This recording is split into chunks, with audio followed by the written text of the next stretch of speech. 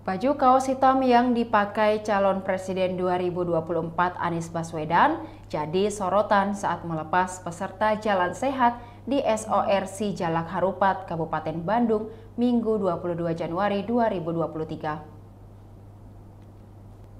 Baju kaos itu bertuliskan bahasa Sunda yakni Abdi Nungider Naha Anjen Nukader yang artinya saya yang berkeliling kenapa kamu yang panik, takut atau gentar.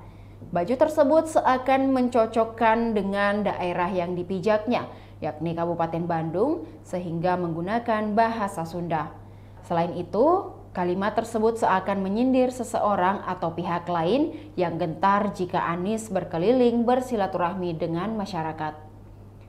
Jalan sehat itu pun dikatakan Anies bukan hanya sekadar jalan, namun ia menyelipkan pesan jika bangsa ini sedang butuh kerja keras.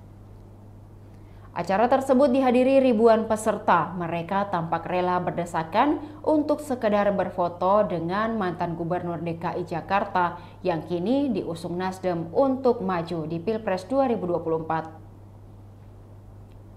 Adapun rute jalan sehat tersebut masih di area SOR Sijalak Harupat, jaraknya sekitar 2 km.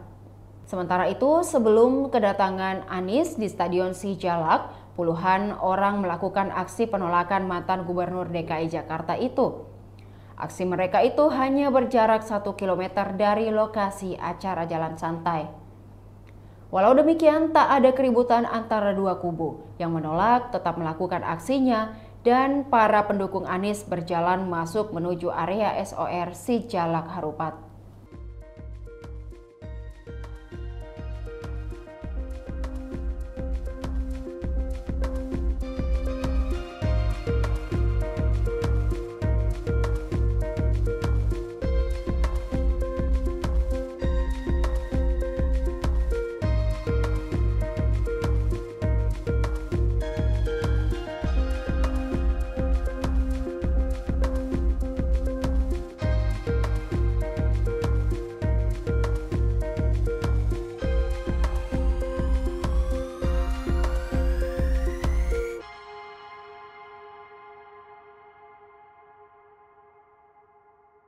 Demikian Tribun Hot News kali ini. Saksikan berita lainnya hanya di kanal YouTube dan Facebook Tribun Timur.